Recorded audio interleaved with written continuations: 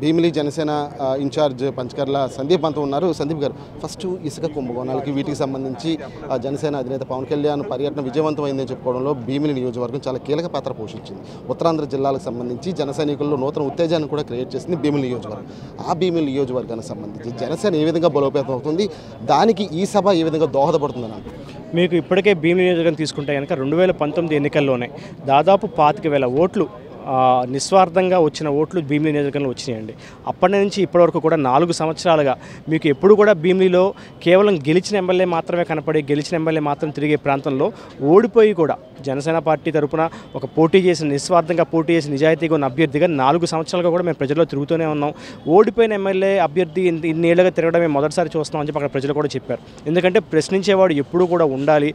ఓడిపోయినంత మాత్రాన మీరు ఇంట్లో కూర్చోకూడదని చెప్పి మా అధ్యక్షుడు పవన్ కళ్యాణ్ గారు మాకు చెప్పారు. ఆయన చెప్పింది ఒకటే మాట ఏంటంటే నీకు ఒక్క ఓటు పడినా కూడా ఒక్కడికి నువ్వు ఎమ్మెల్యే కింద భావించి నీకు ఓటు వేశాడు. నువ్వు ఓడిపోయావు కదా ఇంట్లో కూర్చుంటే వాడికి అన్యాయం చేసినట్టు అని చెప్పన్నారు కాబట్టి మాకు పడిన దాదాపు పాతిక వేల ఓట్లకి మేమే ఎమ్మెల్యేగా వాళ్ళకి బాధ్యత వహించి వాళ్ళ పక్షాన పోరాడుతూ ఇప్పటి వరకు వచ్చాం. ఈ ప్రభుత్వంలో మీరు తీసుకుంటే కనుక ఎర్రమట్టి దెబ్బల దగ్గర నుంచి రిషికొండ దగ్గర నుంచి పాండ్రంగిలో ఉన్న ఒక బ్రిడ్జ్ సమస్య అల్లూరు గారు పుట్టిన గడ్డ మా భీమిలిలో ఉంది సార్ పాండ్రంగి గ్రామంలో ఉంది. మరి అలాంటి ప్రాంతంలో ఈ రోజుకి కూడా ఒక బ్రిడ్జ్ నిర్మాణం లేక ప్రజలు ఇబ్బంది పడుతున్నారు. మరి మాకున్న ఎమ్మెల్యే అవంతి గారు మాజీ మంత్రి శాఖ మంత్రిగా పనిచేశారు. అది కూడా టూరిజం శాఖకి. భీమిలి అంటే మీకు టూరిజం గుర్తొస్తుంది. అలాంటి టూరిజం శాఖ పనిచేసి కూడా కనీసం తొట్లకొండని కానివ్వండి రిషికొండని కానివ్వండి భీమిలి బీచ్ని కానివ్వండి అభివృద్ధి చేయకుండా మా మత్స్యకార సోదరులకి కనీసం టూరిజంలో ఉద్యోగాలు కల్పించకుండా ఇంత దారుణమైన భీమిలికి వెనక్కి నెట్టివేసిన పరిస్థితి మాకు భీమిలిలో కనిపిస్తుంది. అంతేకాకుండా ఈరోజు భూ కబ్జాలు ఎక్కడ ఉన్నాయంటే మాత్రం మొదట భీమిలి వినపడుతుంది. పెద్ద పెద్ద వాళ్ళు ఈ రాజశేఖర రెడ్డి గారికి సంబంధించి ఆ ఉన్న హయాంలో ఉన్న భూములు కూడా ఈ రోజు జగన్మోహన్ రెడ్డి గారు వచ్చాక పూర్తిగా అన్యాయక్రాంతం అయిపోయింది. ఎక్కడ మట్టి కనపడినా కూడా గ్రావెల్ కింద తవ్వేస్తున్నారు. కొండ కనపడితే దాన్ని కూలగొట్టేస్తున్నారు. హైగ్రేవే కొండ కానివ్వండి లేదు మీకు ఋషికొండ కానివ్వండి బోడిగుండ్లుగా చేసి పూర్తిగా ఆ ప్రాంతాన్ని నాశనం చేసి పడేస్తున్నారు. ఆధ్యాత్మికంగా కూడా భీమిలి చాలా important place sir Ananta Padmanabha Swamy గుడి ఉన్నది మా భీమిలి. నరసింహస్వామి టెంపుల్ ఉన్నది సింహాచలం నరసింహస్వామి టెంపుల్ ఉంది మా భీమిలి కాన్స్టిట్యున్సీ.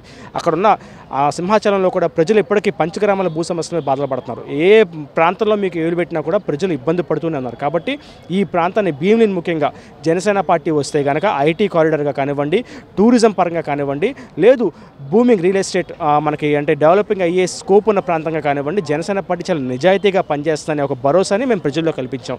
ముఖ్యంగా యువతకి మహిళలకి మహిళలకు భద్రత కల్పిస్తామనే మాట మేము కల్పించాం సార్. ఈరోజు సభ ఏ విధంగా ముందుకు ఈరోజు ఒక భారీ బహిరంగ సభ జరగబోతుందండి. ముఖ్యంగా విశాఖపట్నంలో ఈ ఏఎస్ రాజా గ్రౌండ్స్లో మొదటిసారి పవన్ కళ్యాణ్ గారు ఇక్కడ ప్రసంగించబోతున్నారు. అదేవిధంగా ఈరోజు ఒక వ్యాపారవేత్త ఒక పెద్ద వ్యాపారవేత్త అయిన శ్రీ సుందరపు వెంకట సతీష్ కుమార్ గారు జనసేన పార్టీ అధ్యక్షుడు శ్రీ పవన్ కళ్యాణ్ గారి ఆధ్వర్యంలో ఈరోజు కండువా కప్పుకొని పార్టీ బాధ్యతలు స్వీకరించబోతున్నారు. ఒక జన సైనికుడిగా నేను పనిచేస్తాను అని చెప్పని ఒక వ్యాపారవేత్త జనరల్గా రాజకీయాల్లోకి రారండి. ఎందుకంటే వాళ్ళకున్న వ్యాపారాలు ఏం చేస్తారని భయం.